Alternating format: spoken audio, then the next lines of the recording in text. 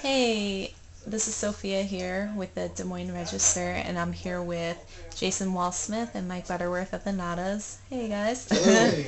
and we're just chatting about their latest project called the Almanac Project, which is um, them recording a song per month for a whole year. What are you guys hoping will come out at the end of this year, at the end of the project? What do you think you'll learn from it all? I mean, I think what, what we really want is just to have a good record at the end of it. and uh, we've put out, a, you know, a handful of records over the years, and so we just wanted to do something different. But all of those records are always sort of a snapshot in time of where we are as a band or individuals.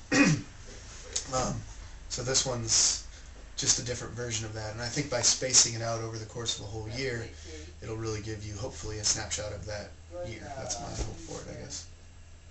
I have the same hope, but I also hope that the album is cohesive to listen to as a, an album altogether all the way through. Um, when you when you make a record, you have the luxury of sequencing the tracks in the best order for the record.